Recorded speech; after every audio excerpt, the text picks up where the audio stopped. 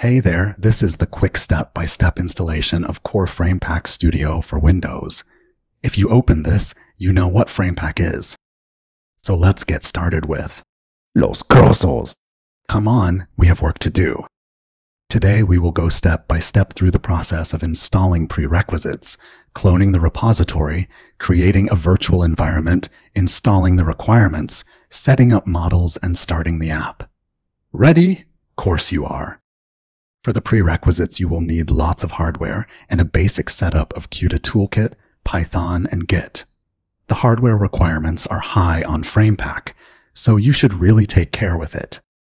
If your PC is not set up and you want an automated, beginner-friendly, but efficient way to set up your PC for AI and Python, you can use my other project, Crossos Setup.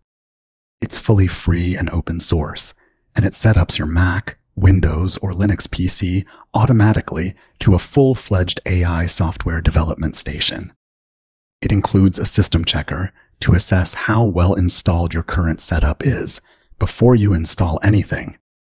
That's what I use for all my development across all my systems. Where were we? Oh yes, let's install this bad boy. Now we will change to our normal account to start the installation. We then open a terminal with no admin rights and a file explorer at the location to store the repository plus a browser for instructions. So we clone the repository to our hard drive. You can see the new directory appear on your drive.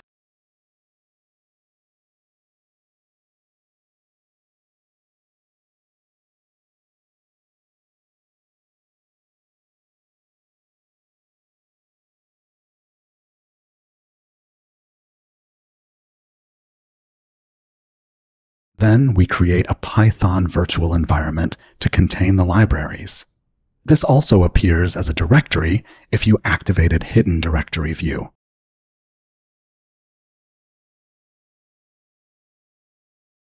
We see the activated environment on the left of our prompt. Now we install the requirements.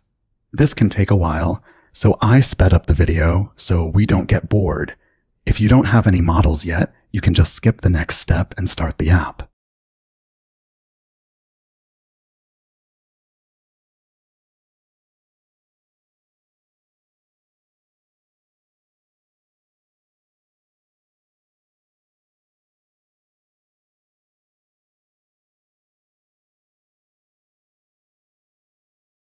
To reuse existing models, we start any app file with the Check Models option to generate a configuration file.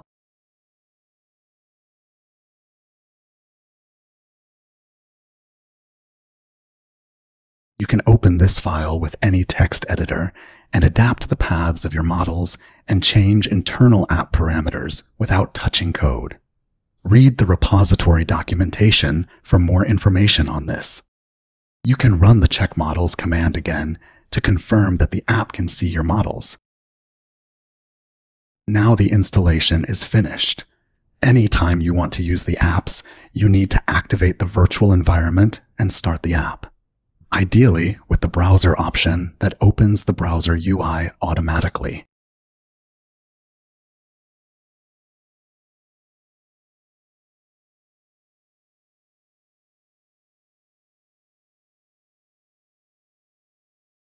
To end the app, just close the terminal window or press Ctrl C on it. Check my other videos on how to use the app. For now, we are finished for the quick installation on my favorite system, Windows of course.